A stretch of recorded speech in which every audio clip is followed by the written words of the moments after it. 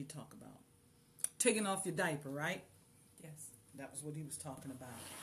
And I usually teach lessons concerning, um, let's see, what I teach lessons concerning sins, uh, what sins are. So, did you get the handout from man's, um, the guilt of mankind from Romans 1? No. You didn't. hmm Okay.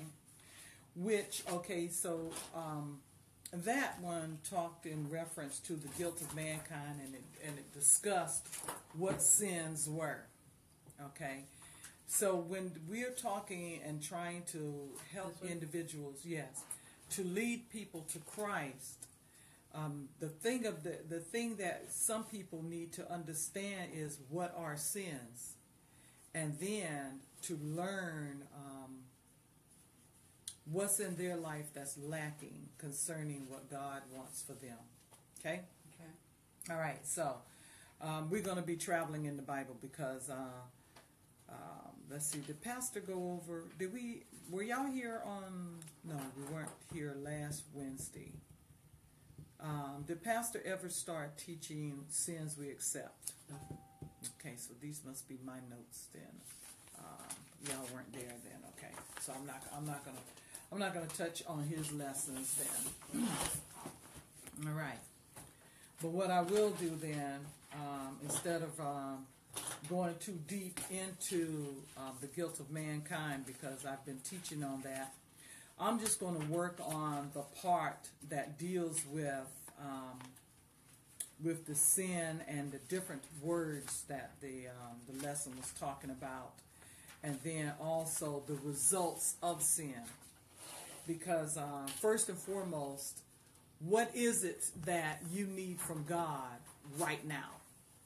What questions do you have concerning um, salvation and why um, you want salvation? We, sh- we should put it like that. What is it of God that you want to understand, and how willing are you um, to accept what the Scripture says? because a lot of times people will give you information that deals with the church doctrine. I don't want to do that. I want to find out. Looks like somebody's coming. I want to find out what is it that you are thinking about and why. Kathy Oh, wonderful, wonderful. Glad about that. Do you have your Spanish Bible with you today? In the car. You, you're supposed to have it then because I want to be able to make sure that Brother Ray is um, She's probably Kathy's probably car. all right. So, okay, let's let's let's let's deal with it like that. So now, whenever if I was going to teach you this lesson, the guilt of mankind, I was going to read the scriptures to you, um, and then you were going to be telling me, well, Sister Brooks, I don't know what those words are, and then I would have to explain what those words are. But I want to know the Praise depth. Lord. Praise the Lord. Glad to see you today. Praise the Lord. All right. Come on, stop. Bien. Bien. All right. Great, Hello. great. Hello. Under Get there. All in right. there. Mhm. Get in there. Yes, ma'am. You got your Spanish Bible with you today? Yes. All right. Because we want to definitely read um, read it um, in Spanish as well, so that Brother Ray will be on the same level with the rest of us. Okay. So, what questions do you have regarding um, salvation before we even start even opening up the scriptures? What is it that you want from God? Let's put it like that. For me personally, Uh-huh. I want to know. Mhm. I mean, I know when I was much younger, I went to church when I was a little girl, Mm-hmm. and then when we moved, we stopped. When and then I went with my oldest brother Mm-hmm. and him and his wife, and then that eventually stopped. And I just I want to get back into knowing God and knowing the right from the wrong according to His word. Exactly. Okay. I, I, I, I will accept that. All right. Um, Sister Angie. maybe um, Romans one might not be the one. No. Okay. What about you, Sister Angie? What about what is it that you want to learn or understand about God? Then, let's put it like that. Messing with my computer as well. So, I want, I want the understanding of how, how I can know what God has for me, okay. what, what He wants for me, what He, re- I know what He requires for me to walk in Him, Mm. but, uh, what, as far as like here on this earth, you know, I know His requirement, His, what He wants is for me to witness and to be a, you know, an example and stuff like that to win the lost. But, uh, as far as like when Him, Him talking to me and stuff, how how how would I know when or when he is talking to me to do whatever it is that he wants me to do for him? All right. Brother Ray, and make sure you um, translate it. What do you want from God, or what do you want to know from God? ¿Qué, qué es lo que quieres tú de Dios? ¿O qué, qué es lo que ah, ¿Quieres que te enseñe? ajá, que you te enseñe o, o que haga por ti o algo? Bueno, yo no le pido, ¿cómo te diré? Con lo que tengo me conformo, le- con lo que me ha dado, le- me conformo con eso. Especialmente salud. And you all can ask Y questions too. Mhm. la- me dio el techo donde vivo, la casa donde ¿Tienes vivo. un extra? Tengo comida, tengo todo. Hand out. Mm. Oh no, no. Con eso me. Um, I don't have it right now. I have to get up and go get it. But, como, este, como yo le dije, but it's just right now. It's just Romans one. Turn fue, your Bible to Romans one. de que qué es lo espera Dios en mí o qué es lo que, Que lo no que porte bien, no no no es lo que yo le estaba preguntando a, a, a la hermana la contestación de la mía fue la hermana que, que es mi que qué es lo que el Señor y bueno yo sé que lo que el Señor espera de uno es que quiere que seamos testigos. Okay. y que quiere que, que, que hablemos a la gente de, de, de él y todo eso para que sean salvos. Pero este, mi, mi contestación fue de que ah, qué es lo que, ah, lo que, cómo sé cuando, cómo sé este, cuando Dios está hablando conmigo, está tratando conmigo. Ahora, como que dice, si me está, me está moviendo en mí de que de que este hable una palabra que estu que, que enseñe una, un estudio que ah, vaya con ella y que le diga este ah, una, una escritura que Dios me ha dado para ella o que cómo sé yo cuándo cuándo es que Dios quiere que yo haga eso y es la pregunta que ella quiere que bueno, lo siente uno. Lo siente, lo siente. Porque todo trabaja Dios con la memoria de uno. Te, te, lo sientes aquí y aquí. que lo que, lo que siente. ¿Entiendes? Está como, por ejemplo, cuando el, cuando predica ella, cuando predica el hermano. Turn your está- Bible to Romans Le está one. dando, le está dando. Have your pencil and paper ready? ¿Qué crees tú, verdad? You need some paper? Oh, got some No. paper, okay. ¿Cómo? No es igual. De esa manera nos, nos enseña Ujú. lo que él quiere de ti, lo que él quiere de mí. Yo pienso que así es. Mm. Ujú. Que uno se preste. Lo que quiere Dios es que uno se preste, que le diga y él te da. ¿O no es así? Lo que la hermana preguntó. Sí, es así. Spanish dictionary. What's going on? Okay. I got a verse to Oh, verse. Uh, no, Spanish. Oh, I need the one for Spanish because um, um, we're gonna start delving in with it. Sister, Sister Kathy, what is it that you want from God, or what you you feel that you need from God? Um, Well, the first thing is I want to get to know him better, okay. serve him better, Mm-hmm. and get closer All to him, do his will. Okay. So what I'm looking at and what I'm hearing is um, knowledge You want to have a, a better knowledge about, first of all, who God is and what He is asking of you, correct? Um, how to serve God fully. I mean, how do I serve God today? Is that okay? Um, when we're looking, when when I wanted to start teaching Romans chapter one, I wanted to give you all information, but um, there's some things that that we need to understand when it comes to um, the the is is no such thing for Robin to say there is a full knowledge of God until we get to be with Him. Um, a lot of times what I see and what I feel people are dealing with is self esteem. Because when you pray, and, and this is Robin too, do I really fully believe that God is going to do what I'm asking of Him? Like when I pray for you, will God open up your knowledge and your understanding? Will God heal you? Will God deliver you? Will God set you free from bounds and chains of whatever it is, of addictions that we have?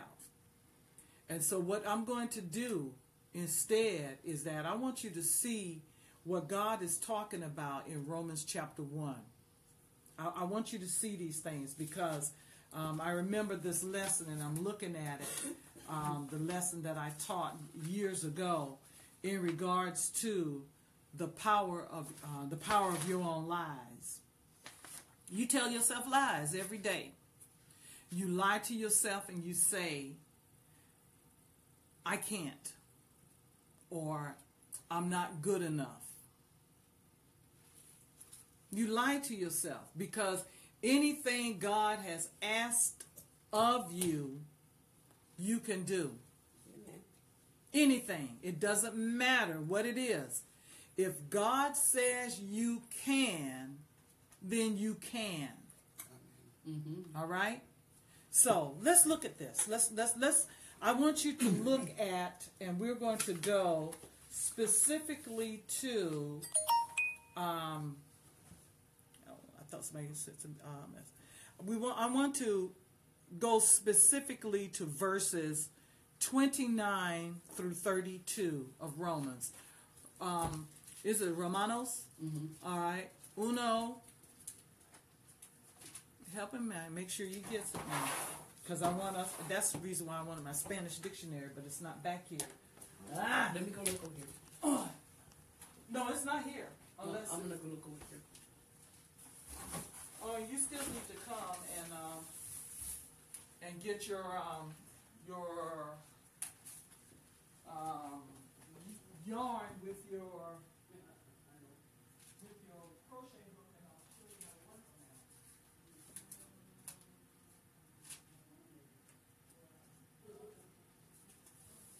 How is feeling? But then what, what's due? I got Vinny at home. All right. Mr. Wild Boy. You got your thesaurus, Sister Kathy? You don't have your thesaurus, do you? No. Okay, so um, my Spanish dictionary is upstairs. And you don't have your Spanish dictionary with you either? No, I don't. Oh! Okay. So we're ill prepared for Brother Ray today, but we're going to uh, work on the knowledge that Sister Angie and Sister Kathy has in Spanish and the words. So let us read um, verses 29 through 32. I want to read it from the New American Standard Version. Romanos dijo. Mm-hmm. Romanos. Um, ¿Qué, qué, qué página? in it, Primero, al- el el primero Romanos, Primera Romanos. ok. okay. 29, 29, 29. 29 a, a 32, que es los últimos, ¿dónde está el 29? Okay. 29 está como por aquí. Is the revision, 29. Ma'am, this, this The is new Reina revision. Valera revision nineteen sixty. that's good. That's good. Yes, ma'am. All right. Now, um, good.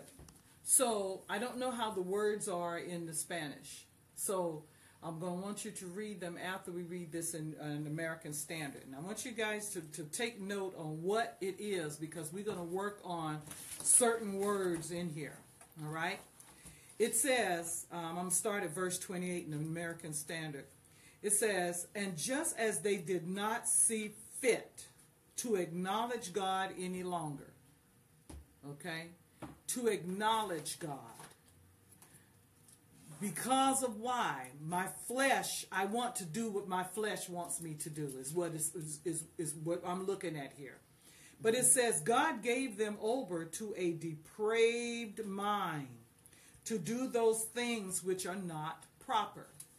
When you're doing something that's dealing with depraved you're not doing something that is positive but in a negative sensual um, fleshly evilness it is wrong. Okay? My flesh does not want to do good because evil is always around me.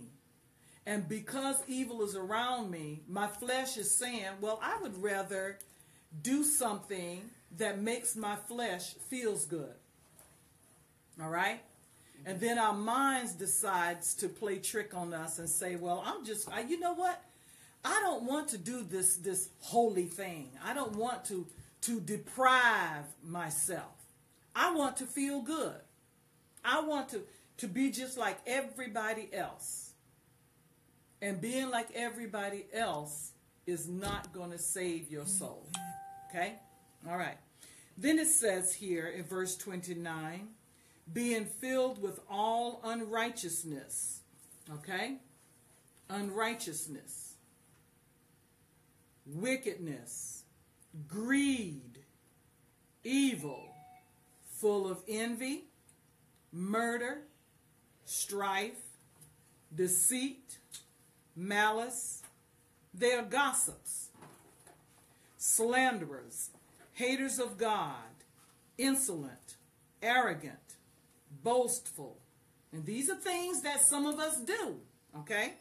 Inventors of evil that's a biggie. And we'll talk about that maybe today, maybe another day. Disobedient to parents without understanding. Note that. Without understanding. Untrustworthy. Note that. Ugh. Unloving. Unmerciful and although they know the ordinance of God, although you know that God tells us to love, He tells us to forgive, He tells us to be tender hearted and full of mercy, loving kindness, He tells us to be peaceful. These are the things that God tells us to do. And these are the things that we don't do. All right? He said that those who practice such things are worthy of death if you're going to have a depraved mind, if you're going to be full of evil and greedy, full of envy and murder, strife, deceit, if you're going to do these things, the Word of God says that these things are worthy of death. Why? Because they are sinful. It is sin to be this way. They not only do the same, now you're doing it, but listen to what it says, but also gave hearty approval to those who practice them. Now read verses 28 through 32 in Spanish, please. 28 to 32, yes, ma'am. Okay. Dice, y como ellos no aprobaron tener en cuenta a Dios, Dios los entregó a una mente reprobada para hacer cosas que no convienen estando atestados de toda injusticia, fornicación, perversidad, avaricias, maldad, llenos de envidia, homicidios, contiendas, engaños y malignades, murmurando, distractores, aborrecidos de Dios, injuriosos, soberbios, altivos, inventores de males, desobediente a los padres, necios, desleales, sin efecto natural, impacables, sin misericordia. Quien habiendo entendido el juicio, el juicio de Dios, que los que practican tales cosas no son dignos de muerte, no solo lo hacen, sino que también se complacen con los que las practican. Okay. Okay, ya, eh, let me correct this. A quienes habiendo entendido el juicio de Dios, que los que practican tales cosas son dignos de muerte, no solo la hacen, sino que también se complacen con los que las practican. Okay. Did you understand? All right, good. Uh, yeah. So what we're going to do now is that we're going to take certain words, certain of these words, for some understanding and talk about how it's in here for us in order for us to get this out. All right. So now write down these words because um, after we go through these, I want you to also study this as well. So write these words down. And then translate what is um, translate what is unrighteousness. How do you say unrighteousness in Espanol? La righteousness es este, Not righteous, No digno. sinful. Sí, eso, Catarina, y la tengo Uh, unrighteousness, Yes, ma'am. How do you say unrighteousness or sinful? como los que creen, ¿no? No, no, no, no es digno que casi. It's being filled with No all unrighteousness. uh, unrighteousness, que no seas justo. Justo. Justo. Ajá, que no. Wouldn't that be just? And that's something my Spanish speakers don't know what the words are, but that's okay. All right. So- que no seas derecho en otras palabras. How do you pron- well as um, sinful, Pecador. Evil? mal- Malo. Um, all right. This is what we're talking about: evil, sinfulness. This is unrighteousness. But I want you to get a better understanding of what unrighteousness is. So by that, I want you to write down Colossians chapter 3, C O L. Just C O L, period. Chapter 3, verses 5 through 10. We'll get to that later. All right? Wickedness. Wicked. ¿Qué es eso? malio- malioso. Malioso. Marioso. All right? Evil or morally bad in principle or in practice. When you're looking at wickedness, it's, it's like a man going into your garden and spraying uh, Roundup. What does Roundup do to plants? Kill them. It kills them. Okay? That's wicked. You're going to trespass on somebody else's property to destroy their property or to steal their property. All right? Covetousness. In Espanol? Covetousness. Yes, ma'am. You can look in your book. I'm pretty sure that it says it. Do you have a scripture That's um th- yeah, that's verses uh covetousness, covetousness, being filled with all verse 29. Romans chapter 1 verse 29. Perversidad, avaricia, Mhm. maldad, llenos de envidia, homicida, contiendas, engaños, y. Okay, now you said malig- malignanus, malignity, Mhm. all right? All right, but the wickedness was after fornication, Perversidades, perversi- com- covetousness after wickedness, um, injusticia, fornicación, perversidades, adversidades. Uh, we, uh, covetous means like uh, envy. Mhm. and wanting something Envidioso. that Envidioso. there you go that belongs to somebody else all right it's not yours deseas las cosas de otra persona. it's not yours and i want it because i don't want you to have it and this is what the devil does Yes. the devil does not want you to be holy That's right. so what does he do He steals your peace of mind. Constantly making you look at television, look at a mo- uh, at a at a at a magazine, and comparing what you see to what you are. Mm-hmm. Yes, everybody will love a nice house, right? Oh, yeah. Nice car, and somebody else to drive it for us, to keep it clean, to make sure that it is working order. We want somebody to clean our house for us, wash our clothes, cook our food. As a matter of fact, I want you to buy my food. I want you to pay my bills. Mm. Because that's the lifestyle of the rich and famous, right?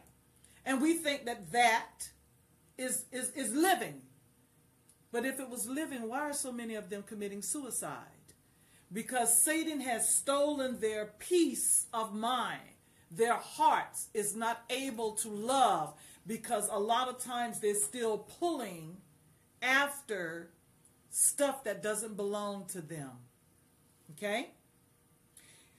Full of envy. You're not content. I am not happy because I'm still jealous of what you have. Jealousy, you understand? I'm jealous of what you have. These are the things that God wants us to understand. Okay? Let's look at another one. Despiteful. And you got that word, spiteful, in there. You've heard people say she did that or he did that out of spite, right? Mm-hmm. They did it because they don't want you to be at peace. All right? So, when you look at somebody who is a covenant breaker, peace breaker, I am going to get in between you and Sister Carol here, right? And that's as that's how what she calls you, right? I'm gonna get in between y'all because I don't want y'all to be happy as friends. All right? A covenant breaker doesn't keep a promise, but they also try to drive a wedge between the relationship that people have. Mm-hmm. If people have a covenant, that means they've come into an agreement to be at peace. And Satan wants to make absolutely sure that he makes you break your promise. When you married Brother Ray, if you took the vows that a lot of um, us take to love, to honor, to cherish, we break those bonds when we start arguing, start accusing, start to being disagreeable. We start breaking those bonds. Because what we are looking at is that God has joined you together. When you decided, I want to marry him or I want to marry her, however the situation is, and you, you said, I am going to live with this person in peace. Nobody has ever, well, maybe I may not say that. I have never heard anybody say, I'm just going to marry them because, you know, it's just something to do. Usually they want companionship or they want somebody to take care of them, right? Mm-hmm. Okay. And they just marry for those reasons. They they'll say, "Well, I don't love them, but I'm going to be I'm going to be nice to them and I'm going to marry them and we're just going to have a good relationship." Okay?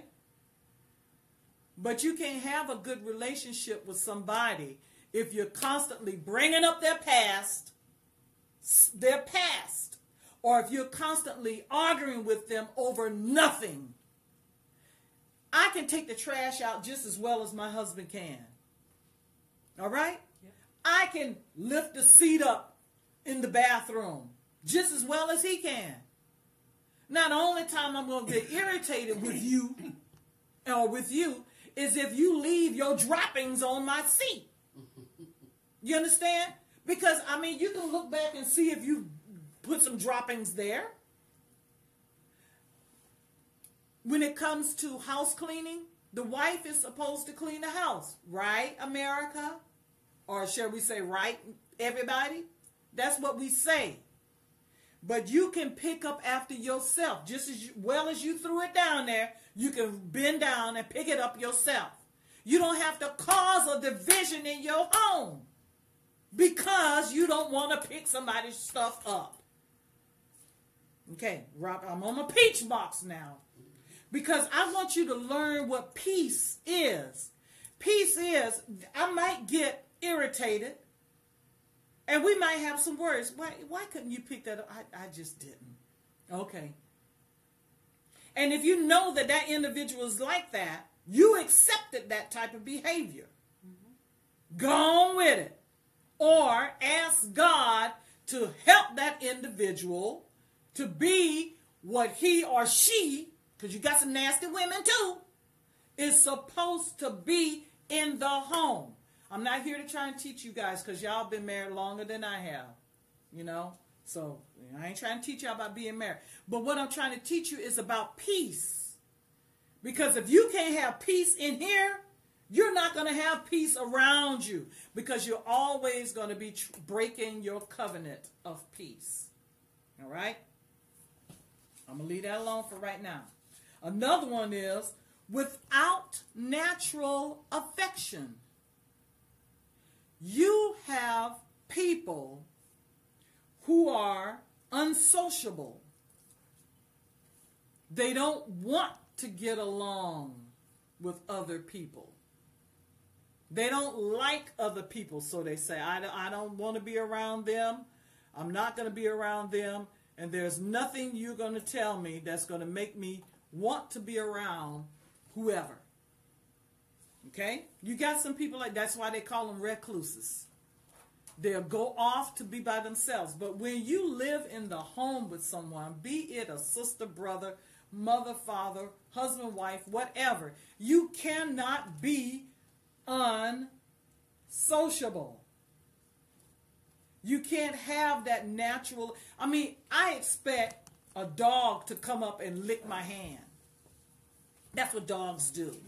Or a cat to get up and nuzzle up on me. Mm-hmm. I expect that because that's what they do when they have been what? Socialized. That's what we say. I'm not going to go out there in the woods and expect Yogi the bear to come up Yeah. and be all hello there. Oh, come on, boo boo. I'm not expecting that. If you do, man, I'd be running. I if I see a bear, I'm getting in the wind.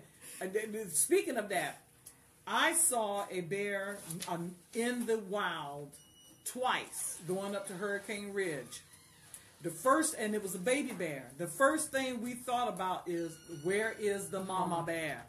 And I put the pedal to the metal on that that hill. So, okay. Because she ain't too far behind. No, she's not. And this is the thing. Even animals know how to take care of their own. We are above them. Here's another word I want y'all to you get to implacable. That's in verse 31, right after natural affection. Implacable means that you can't be pacified or appeased.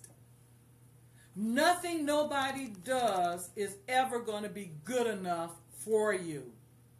You can't, somebody comes to you and say, I'm sorry. You're going to continue to want to keep whatever it was stirred up.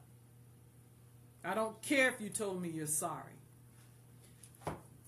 Okay, yes, ma'am. That one is not in mine. Can you spell that one for me? I want to make sure I got implacable spelled right. What, what version do you have? I've got the King New King James version. Oh, New King James? Yes, That's ma'am. It's not in verse 31? No. Okay, I am Mm-hmm. P L A Mm-hmm. C A B L E, implacable. Thank you. Spell it right, correctly. you spelled it correct. Okay, you got people that cannot be pacified. You know, like the first thing we do with little babies, once they, they get cranky or something, like we, we call it swaddling. We wrap them up, got them there like this. The kid is like, okay, I can't move, so I might as well just shut up. You know. And then you got some babies that's like, you got me wrapped up in here, and I am angry even more so. Then you unwrap them and you pick them up and you hold them up to your chest and you pat and you rock, right? And that baby is like, no, I'm not happy with this. Then you take the binky, the passer, you shove it in their mouth and say, shut this noise up. And they just spit it right out. No, that is not what I want. Until you give them the meat, the milk, some leche. Then that baby's like, okay, now you got the idea. Now I can, I'm appeased, I'm, I'm pacified because you've given me, you figured out what it is I, I want, really want. You got some individuals that want a man or a woman or whoever to bend down and kiss their feet and, and pump them up and make them think that they are the everything. And that is not of God. You cannot be like that and be a child of God. You've got to be able to accept some things, okay? Now, I, I gave y'all Colossians chapter 3, verses 5 through 10, right? Yes, for unrighteousness. Right.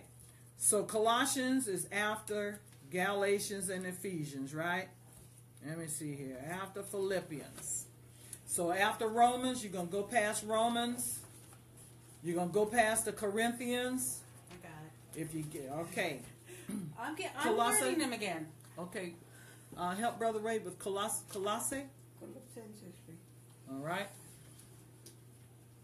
En la- Después de Corintios.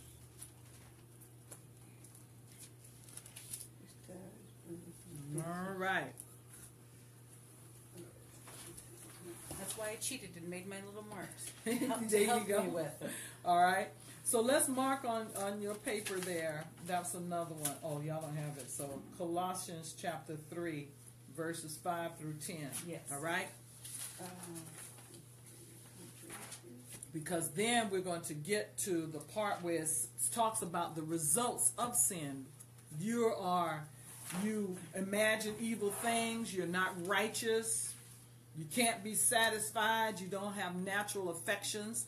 And, and even in the book of Romans, when you looked at Romans chapter 1, you saw where it talked about how they took the things of, of natural order and made it unnatural.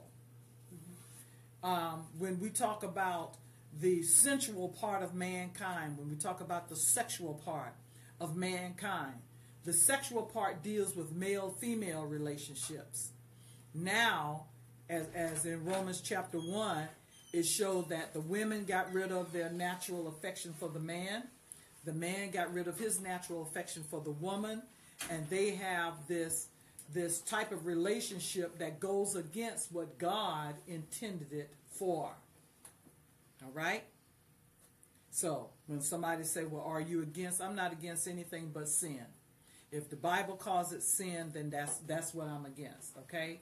I'm against a married couple going outside of their home to receive affections from somebody else.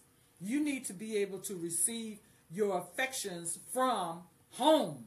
Right. Okay? If I don't know how to treat my husband in a respectful, loving um, manner at home, how do I expect him to, to not to receive it um, outside of the home? That's right. Because the devil, what he's going to do is that he is going to put in in his mind, or he can, all right, that well, if I don't receive the love and affection or the attention at home that I want, then I'm gonna go find it somewhere else. Okay, it doesn't have to be sexual. It can just be, you know, hey, um, how about we go out for a cup of coffee? Decent conversation. Yeah, I- yeah, without somebody chewing and tearing me down. Exactly. Okay? If I want somebody to chew and tear me down, I can look in the mirror and do a real good job. Yeah. Yeah. All right? So, when we we're going to read Colossians, you got it, chapter 3, verses 5 through 10. Okay? Chapter 3 of Col- of the book of Colossians. You got it in Espanol? Go ahead and read that, please. Hacer morir, pues, lo terrenal en vosotros, fornicación, impureza, pasión desordenada, malos deseos y avaricia, que es idolatría, cosas por las cuales la ira de Dios viene sobre los hijos de desobediencia, en las cuales vosotros también anduvisteis en otros tiempos cuando vi, vivíais en ella. Pero ahora deja también pues, vosotros todas estas cosas, ira, enojo, malicia, blasfemia, palabras deshonestas de vuestras bocas. No mientas los unos a los otros, haciéndonos despojados del viejo hombre con, su, con sus hechos, y revestidos de nuevo, de nuevo, el cual conforme a la imagen del que lo crió, se va renovando hasta el conocimiento pleno. All right. You want to read it? Um, you want to read it, Sister Angie? Uh, Colossians 5, uh, 3 to 10, uh, 5 to 10. Right. Mortify therefore your members Mm-hmm. which are upon the earth fornication, uncleanness, inordinate affection, Mm-hmm. evil, conspicuous, con, con, con, com, Covetousness. yeah, that Uh huh. And That's a hard one to pronounce. covetousness, which is idolatry. Right. For which things, for things' sake, the wrath of God cometh on, on the children of disobedience, in which ye also walked sometime when ye lived in them. All right. But Mhm. now ye also put off all of Put the off all of these Listen at this. This is verse 8. anger, Mm-hmm. wrath, Right. malice, Mm-hmm. blasphemy, Mm-hmm. filthy communication, Out, Out of your mouth. All right. lie not one to another, seeing that ye have put off the old man in his deeds, Mm-hmm. and and and uh, have put on the new man, which is renewed in knowledge. knowledge after the image of him that created him. Okay. So now you're getting a better understanding of number one, what God requires of you. Okay? What is it that God requires of you? If we look at that again, if we look at uh, verse 9, he says to put off these things. And he he he's um he's giving you examples of things to put away from you. All right? But let's go ahead on and look at this. What does mortify mean? This is Colossians chapter 3, verses 5 through 10. Okay? Mortify, he says to put to death these things concerning sin. All right? These are the things of the earth. These are the things that keep you separated from God when you practice them. All right? Um, never mind. I was going to say something, but I, I'm going to keep that. She read in verse 5 to mortify therefore your members which are upon the earth. And he and he gave us these things. Okay. So when you look at the uh, fornication part, you're looking at the unlawful sexual intercourse with an unwed person. Okay? All right? Now, today's society says if it's not hurting anybody, we should leave it alone, right? Or today's society says if it feels good, go ahead and do it. Well, in today's society, if you follow up with what they're telling you to do, you're going to wind up in hell. Fornication is wrong regardless. Your body was created as a temple of the Holy Spirit. Okay?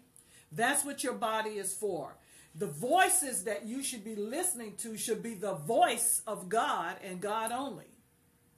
When somebody is telling you to go and do the wrong thing, then that is not of God. All right? What'd you find? It says mortify. It says Mhm. humiliate, Mm-hmm. embarrass, Mm. shame, humble, disgrace, dismay, Mm-hmm. deflate, bring down, take down a notch, belittle. Okay? When you do this, that means that you're not going to want to fornicate. All right? You don't want to be unclean. And And look at it this way. You know, somebody might say as well, when you're talking about unclean, what exactly are you talking about? It could be talking about your physical body. Um, the Word of God wants us to be clean in all things, in all ways, and in all manners. And if you don't keep your body clean, you open and subject yourself to diseases. All right? I said, and the Word of God does tells us this that your body is the temple of the Holy Spirit. Okay? So, if you don't keep your body healthy, clean, then you're dishonoring the temple that God can fill his spirit in. Of course, your physical body is going to go is going to die and it's going to go back to the dust. We know that. Mm-hmm. But while you have possession of it, you need to take care of your body. Eating right, drinking the right things, keeping it healthy, as healthy as you getting up, walking, Robin. Yes, sir, I hear you. Get up and walk. Exercise your body. Take your hands and move them like that sometimes. The physical therapist told me to bend my hands, all right? All of that. Yes. But don't listen to what the world says in the negative manner. All right? Uncleanliness in this manner is sexual perversion between man and woman. You got some individuals in the church that want you to do things that is not appropriate for those of the saints of the Most High God. Now, whatever that is, if it ain't natural and normal, you might have to leave the thing alone. And I'm just going to give you a few words here because these are things that does happen to people in the church. Sometimes sisters or brothers are raped. Mm-hmm. Okay? That means somebody take their body forcefully without permission. Sometimes you have um, an individual that wasn't true. That's why they tell you not to be unequally yoked in a marriage because you don't know what that individual's desires could possibly be. All right? You can have somebody that turns out to be a pedophile. You young um, people who are getting married over again, um, you have children, and I'm not just saying women, because um, you know the young women want to get married again after their failed marriage or husband dies, whatever situation. It can be a woman who is a pedophile. So you have to be careful, okay? And I'm just to leave that alone right there because I got some other stuff, but all right. The, the, the scripture said inordinate affection. Listen to this. Too great of love or friendly feeling or an uncontrolled passion. Okay? I'm going to keep on going on that. I have a scripture that I can give you. As a matter of fact, hold your finger on Colossians chapter 3. But let's go to the Old Testament and we're going to go into um, 2 Samuel. 2 Samuel is before Kings. All right? So 2 Samuel chapter 13.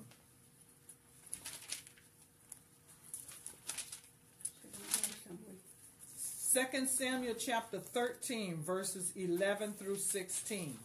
We're talking about inordinate affection, all right? Second Samuel chapter 13, verse 11 through 16, all right? Now, y'all going to see something here, all right? Biblical. See, I'm going to keep it in the book. Second Samuel chapter 13, verses 11 through 16. I could tell the story, but I'm going to read it. Dealing with Tamar and Amnon, David's two children. It says, And when she had brought them unto him to eat, he took hold of her and said unto her, Come lie with me, my sister, which it was his biological sister, not from the same mother, but from the same father. And she answered, Nay, my brother, do not force me, for no such thing ought to be done in Israel. Do not thou this folly. And I, whether shall I cause my shame to go? And as for thee, thou shalt be as one of the fools in Israel. Now therefore, I pray thee, speak unto the king, for he will not withhold me from thee. Now the girl trying to talk her way out of this, because back in that time, sisters and brothers could get married, cousins could get married, first, second, and third cousins could get married. So there was no need for him to force himself upon her. This is inordinate affection. This guy was so bent on physically having this girl that he violated her. Go on to verse 14. Howbeit he would not hearken unto her voice, but being stronger than she, forced her and lay with her. That is rape. That is incest. Okay? And now look at verse 15 and 16. Now this is this this is where you want to choke him out. Then Amnon hated her exceedingly, so that the hatred wherein he hated her was greater than the love wherewith he had loved her. And Amnon said unto her, Arise, be gone. And she said unto him, There is no cause. This evil in sending me away is greater than the other that thou didst unto me. But he would not hearken unto her. Now, this is inordinate affection that led to rape, incest, and hatred. Okay? This is what I'm talking about inordinate affection. All right? And we're going to move from there unless you have questions. See any. Okay? The next word was evil concupiscence, which is an intense longing for what God would not have us to have. And they said, Now, Sister Brooks, do you have a scripture dealing with that? Y'all should y'all should be asking that. What, what does that mean? What's that? Evil concupiscence. I'm gonna go to Titus, the third chapter, and it's intense longing. concupiscence. is um for something that God. I mean, it's the same as coveting. All right, but in Titus three and three, it says here, "For we ourselves also."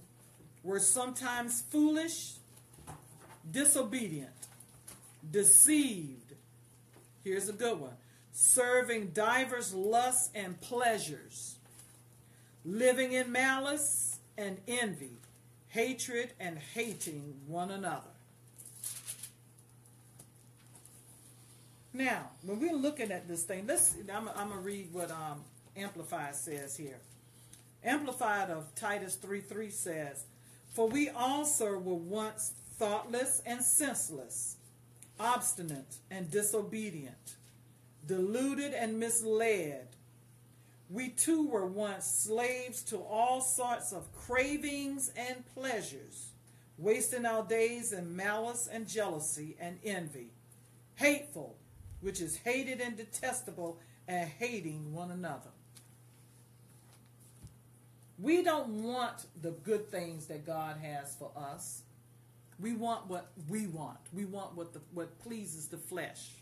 This a. Mm-hmm. Is is uh when you're well, of course when you're married and stuff like that, is too much sex wrong? Is there such thing as too much sex? Okay, are you able to clean your house? Are you able to get dressed and go and, and do the things that is necessary in your home?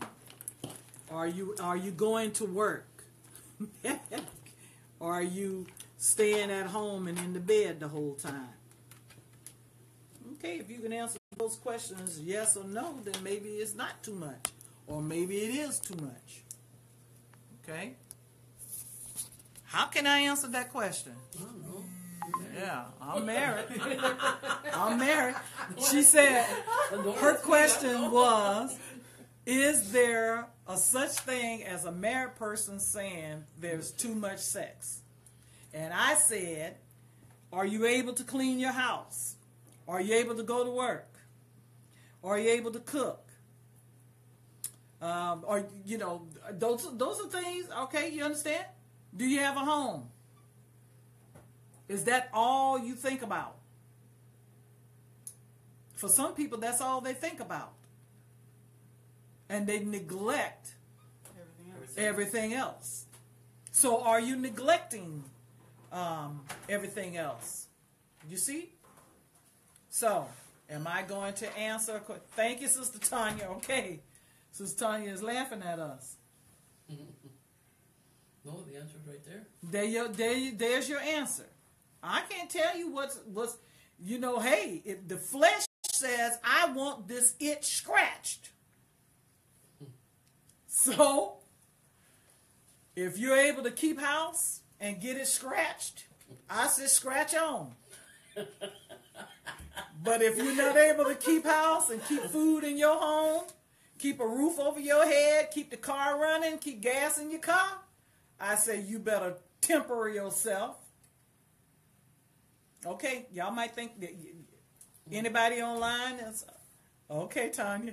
If not, scratch away. Yes, that's what I say. For the simple reason is that who can who can we say um, um, what's normal for other people's homes?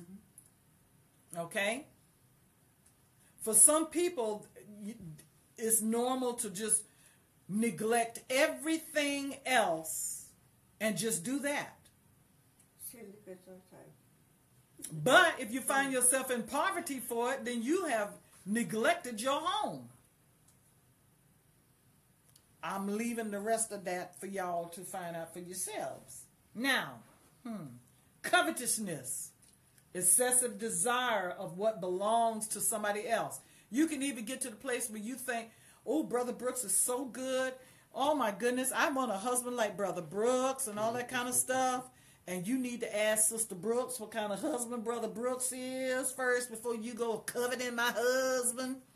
Because y'all might not be able to deal with the aggravation that I deal with. Oh, Sister Brooks, Pastor Brooks is not aggravating. He is to me. But I love his aggravation. So, you know, you might not love his aggravation, but I will I love my husband's aggravation. You understand? Because I love him. So therefore God has placed in me what he what brother Brooks needs as a wife who is going to tolerate his his That's right. him and then brother Brooks tolerates me cuz I'm not the easy person to live with. I am a clutter bug.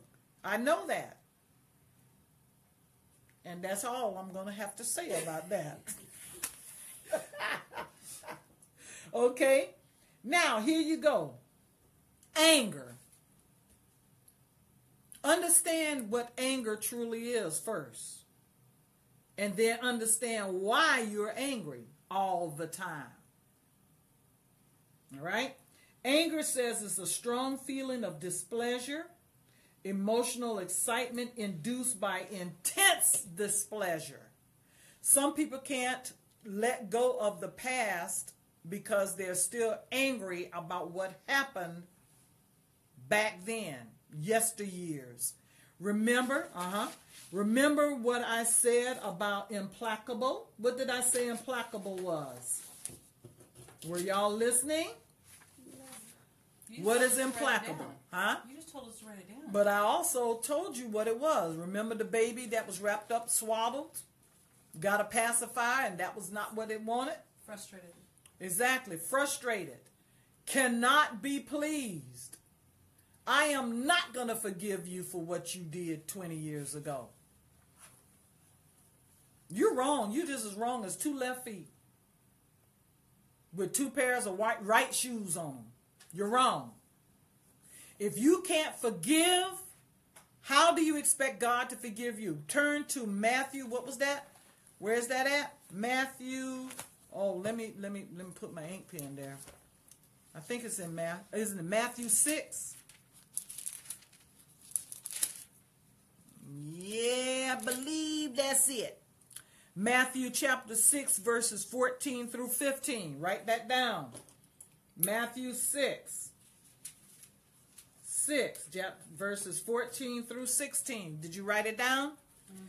It says, For if you forgive men their trespasses, your heavenly Father will also forgive you. Now, I'm just going to give you what the word says now. Then verse 15 says, But if you forgive not men their trespasses, he hurt me, he he um he hit me, he he lied to me, he she uh, went out on me, she yeah, they did all of that. Do you still want your marriage? You do? Okay, then you're going to have to forgive it and let it alone. Don't wash his or her face with it. Well, um, Sister Angie stole my money. I said, just beat her down real good. No, don't beat her down.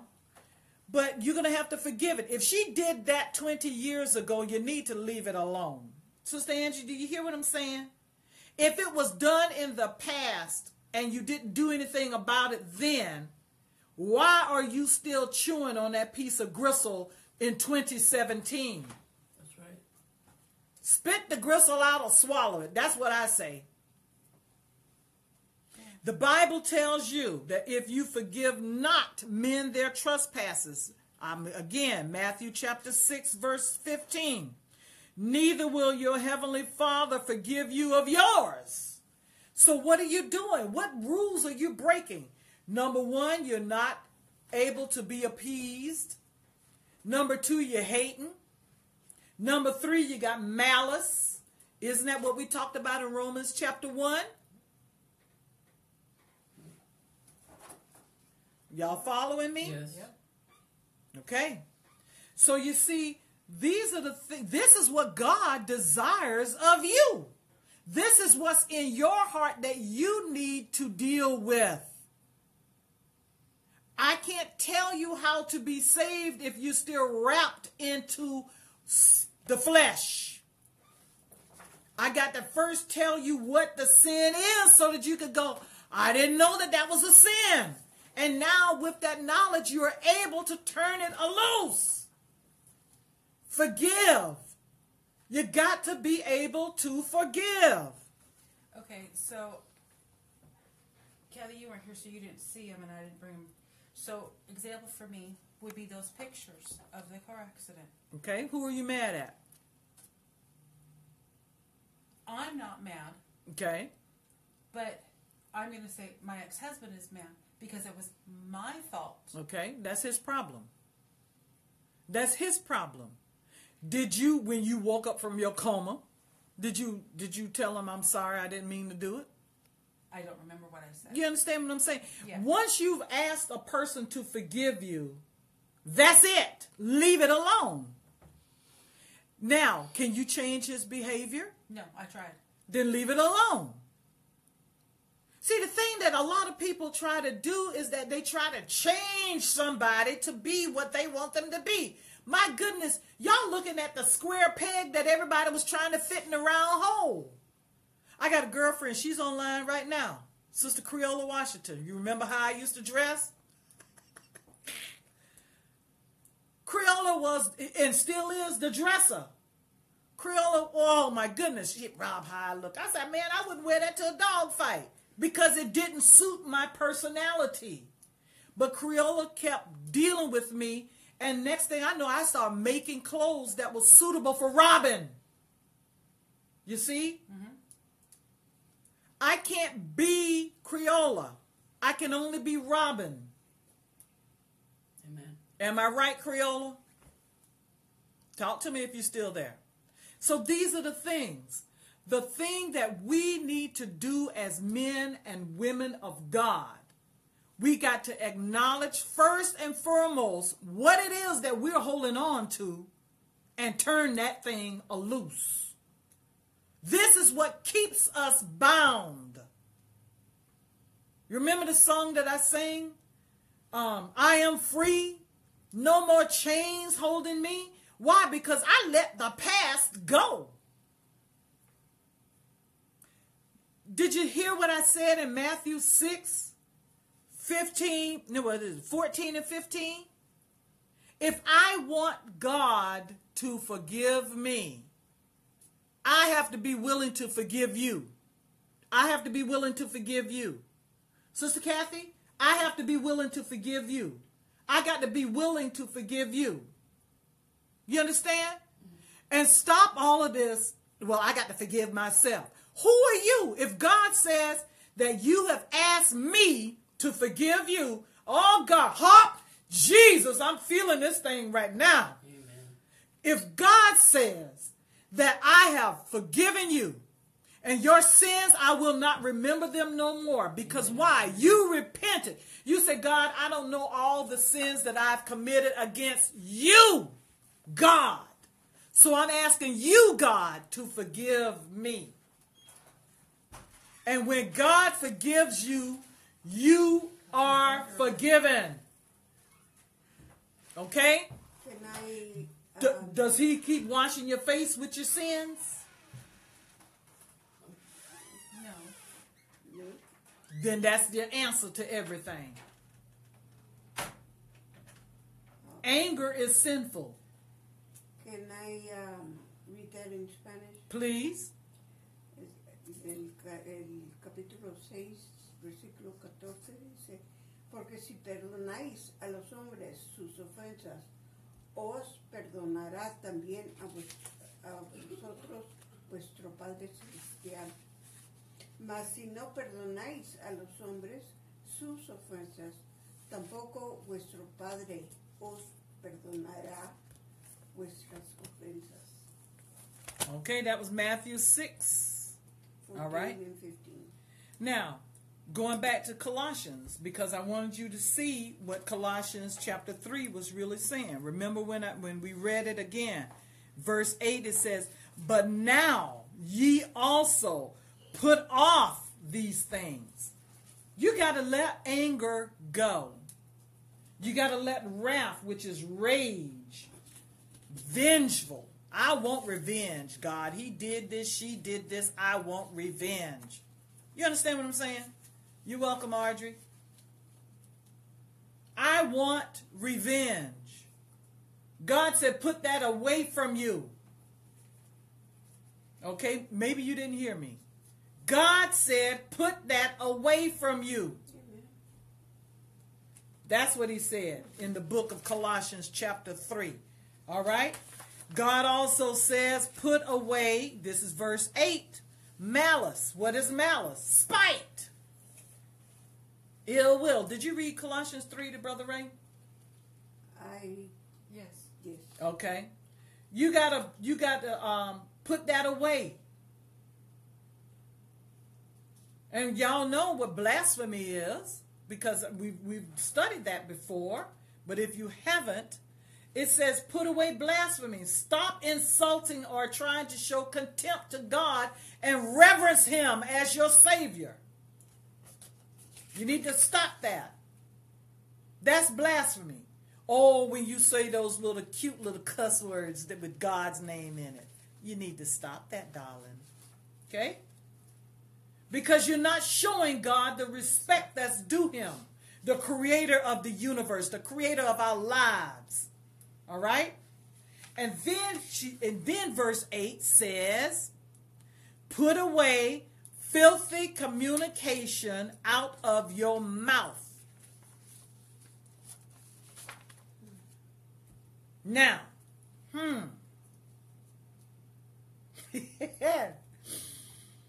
Woo! Verse, uh, let's go to Matthew chapter 12, verse 34.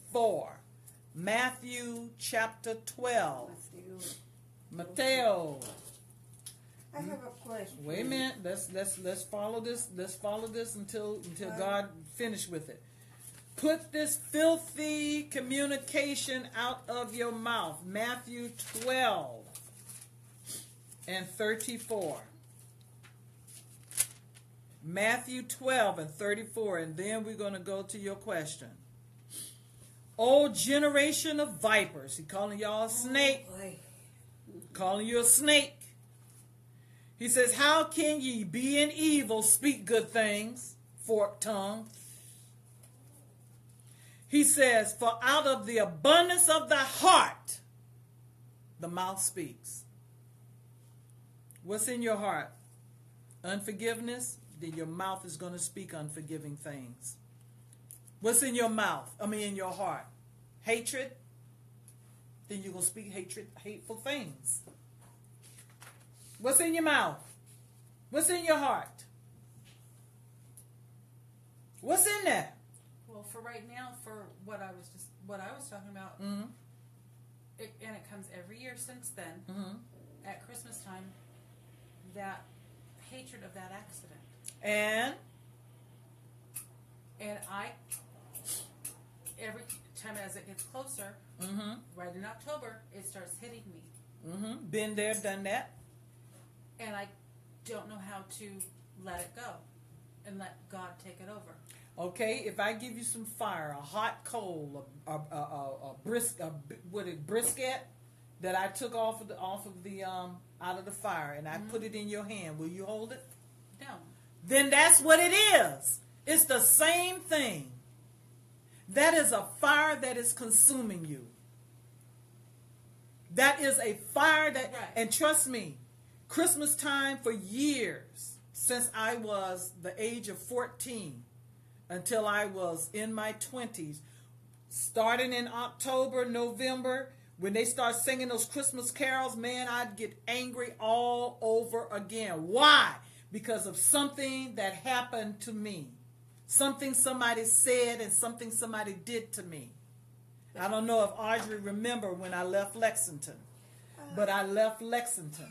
So when I left Lexington, I left Lexington as an angry teenager, a hurt teenager. So every time during that time of the year, I would get angry all over again. yeah, I get the angry, I get the sad because Exactly. And do you know?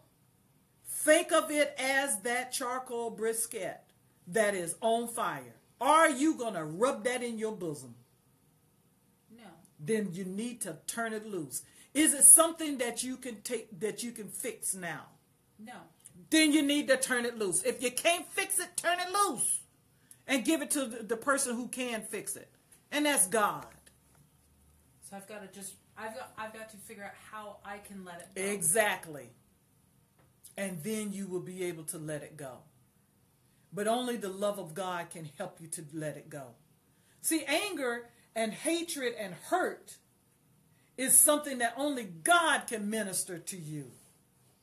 Nobody else can minister that thing to you. I can't if I could if I could tell you how to let it go, I would be more than happy to tell you. Right. The only thing I can tell you is this. If you can't fix it, if nobody else in this room can fix it, turn it over to God and say, God, I don't know what to do with this. I don't know how to fix it. And God will tell you in your spirit, He'll say, You just let me take care of this. And it's a done deal. Because now you've released it to God. Yes, ma'am. You were going to say something, Sister Kathy. Yes, ma'am. Um, I was going to say, if she's having All right. all that trouble Mm-hmm.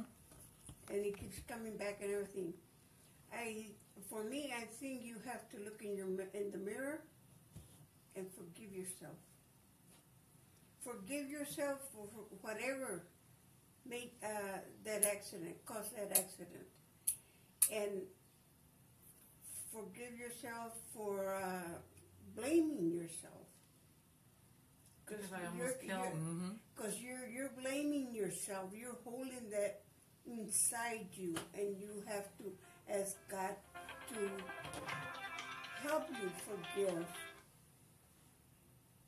And uh, if uh, for some reason or another, let's say you were mad while you were driving, or or whatever was a problem that uh, made you blind and Well, see, this is the thing, sister.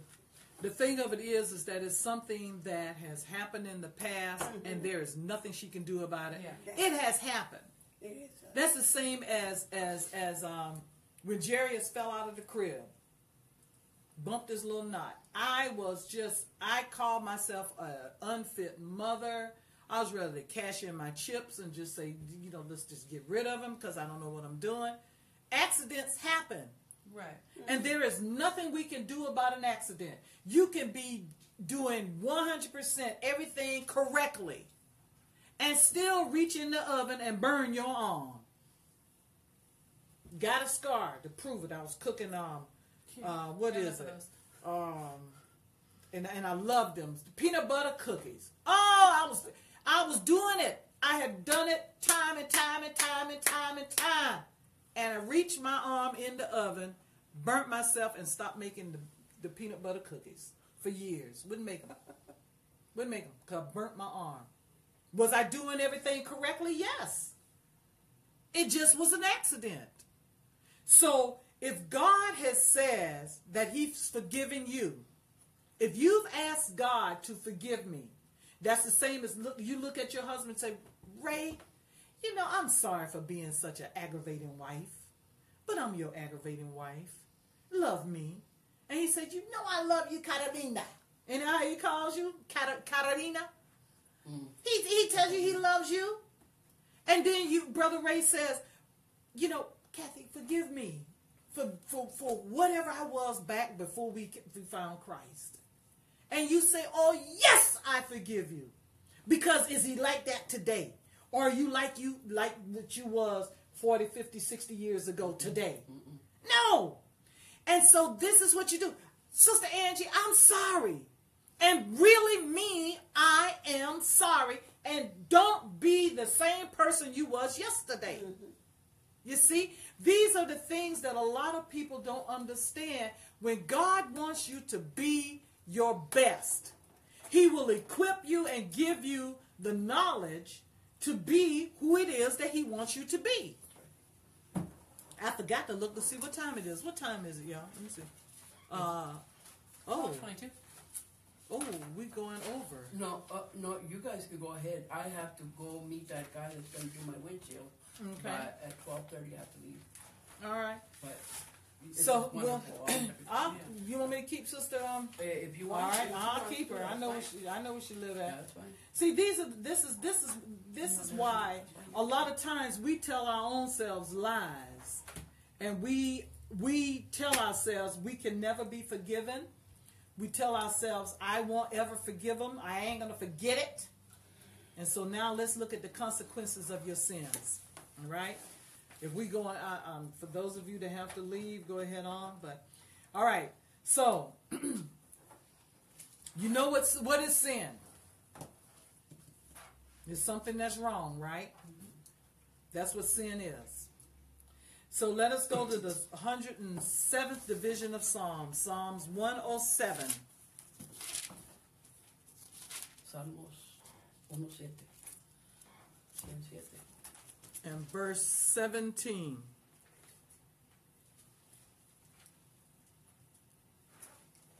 that was just pitiful. You suffer affliction because of their iniquities or because of your sin.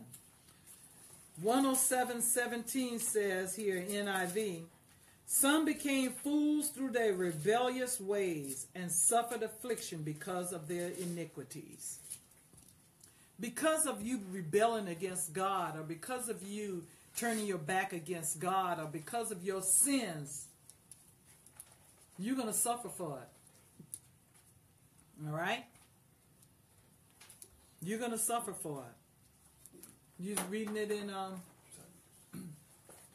do you have it in your Spanish book? Read it for him, Sister Kathy. hmm Salmo ah, 107, versículo 17 dice, fueron afligidos los insensatos a causa del camino de su rebelión y a causa de sus maldades.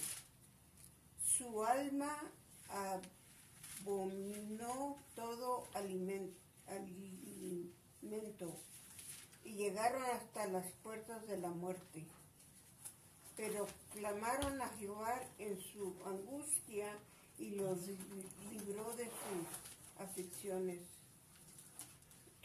All right, just 17, just verse 17. Okay, turn to Psalms 51, the 51st division of Psalms. Psalms 51 and verse 3. See, I want you to know what the result of your sins are. You've already, uh, eh, we've already told you or shown you what sin is, correct? So now that you know what sin is, now what is the result of that sin? Salmos Salmo 51, 3. 51 3, it says this. It says, For I acknowledge my transgressions, or I am conscious of it, or I know what my transgressions are. All right? And my sin is ever before me. You already know what it is. You know that you have a problem with anger. You know you got a problem with being a thief. You know you got a problem with being a murderer. You know what it is. It's ever before you. So that's what God does. He brings it to your, to your, uh, you know, mm, right in front of you, To the forefront. to the forefront. It's not going to be hidden anymore. I want you to know. I want to show you what is keeping you and me separated. Is what God is saying. You being angry all the time. You stealing all the time. You murdering all the time. Where's it? Did I talk to somebody that's a liar yet? You lying all the time. You, you see what I'm saying? So he's going to bring it before you so that you see what it is. Now, I know what my sin is, God. I'm sorry. Forgive me and keep me from this. This am I helping you? Is anybody getting this? Yes. yes. All right. And if, and if God brings it before you, it's something that you're never, you're not going to be able to say, "Well, I didn't know." Exactly. Because God already has showed you. you Now deal with accountable it. for it. All right, let's go to Isaiah 59. Now this one here, and I think what we ought to we ought to get off of here. But anyway, Isaiah 59 verse 2. I might just read verse 1 on this because uh oh, let me see. So when the sister says that as soon as you let it go, you'll be surprised how blessed you will be. Mm-hmm. Once you once you once you find out what it is that is keeping you bound, when you find out what it is and you release that thing to God, you say, God, I don't know how to handle this anymore. Here. And God takes care of it for you. Oh my goodness, it's such a relieving of, of oh anyway. Isaiah 59, I'm going to read verse 1 along with this. It says, Behold, the Lord's hand is not shortened, that it cannot save, neither his ear heavy, that it cannot hear. What you got? What problem do you have that that is so um I can't tell God because I'm so embarrassed. He knows already. He knows it. Cause you don't told him by your actions. Okay? And he sees everything. And he's that's it. So here he says, but your iniquities, your sins, okay, your iniquities have separated between you and your God. And your sins have hid his face from you that he will not hear.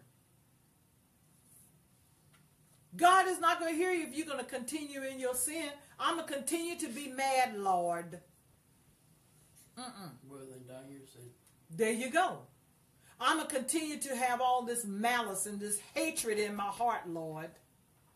Like I told y'all, if I, I know I'm an aggravating woman, but if Brother Brooks loved me, then I, I'm his aggravating woman. And you shouldn't want him or, you know, for yourself because you don't know how he is, you know, he's dealing with me. He loves me because I'm who I am. And the same thing around and around about. I love that man. But if he sins against me, he's got to deal with God. If I sin against him, I have to deal with God. That's right. And then if we still have love, we need to forgive. Right. If I go to him and say, I'm sorry I did such and such, and if he's willing to remain with me because of whatever that such is, it could have been that I didn't wash dishes and that was the last straw that broke the camel's back. And he says, You know what? He grabbed me by the scruff of my neck and boot me out the house. Did that, you know what? I have to deal with that. And then he's got to deal with it too. If we are righteous people, God says, Your iniquities have separated me and you. He didn't say, Sister Kathy, because Sister Kathy ran into your car. He's, he's going to deal with Sister Kathy. You, you, your actions, your whatevers is what separates me from, from, from you, is what God is saying. So we need to stop allowing the past to keep bringing all kinds of mess into our today. Right. We need to let it go. And let us do uh, one more. Uh, can I write, uh, can I read uh, uh, Psalms 53 for him and, and then the. Go ahead. 53, Fifty-nine. I mean, 50, 51. 51 and 3. 51 and 3. Go ahead and read it. It says, hmm el Salmo 51, 3 dice, porque yo reconozco mis rebeliones y mi, pecado, y mi pecado está siempre delante de ti. Entonces la, la, la confesión del pecado de Israel dice en la en 59 del 1 al 2 que leyó ella, dice, he aquí que no se ha acordado acortado la mano de Jehová para salvar, ni se ha agravado su odio, su oído para oír. Pero vuestras iniquidades han hecho división entre vosotros y vuestro y vuestro Dios, y vosotros vuestros pecados han hecho ocultar de vosotros su rostro para no oír. All right, go to Romans chapter 6, verse 23, and that'll be our last one because we've been here over an hour. We've been teaching over an hour. So, Romans chapter 6, verse 23. And um, I think I'm going to start off at verse 20. Okay? Romans chapter 6, and we will end with discussion on that. Romans chapter 6, verse 20 says, For when you were servants of sin, you were free from righteousness. Ain't that something? You're a sinner, so you don't have to be righteous, is what, is, is what he said right there. You were free from it. What fruit had you then in those things where you are now ashamed? We've done some things in our sin that even today we're ashamed that we did it. It's like, man, I can't believe I allowed myself to do it. That's what you should be saying. Mm-hmm. Not that I did it. I allowed myself because we made the choice to do it. That's right. All right? But he says, for the end of those things is death. Then he went to verse 22 and he says, But now being made free from sin and become servants to God, you have your fruit unto holiness and the end everlasting life. So verse 23 then says, if you want to get paid, he says, For the wages of sin is death, but the gift of God is eternal life through Jesus Christ our Lord. All right? And I'm going to want you to read that to Brother Ray. En Romanos 6, Verse 6, 20. 20, 23, dice, porque cuando eréis esclavo del pecado, eréis libre acerca de la justicia. Pero ¿qué fruto tendréis de aquellas, aquellas cosas de las cuales ahora os avergonzáis? Porque el fin de ellas es muerte. Mas ahora que habéis sido librado del pecado y he hecho siervo de Dios, tenéis por vuestros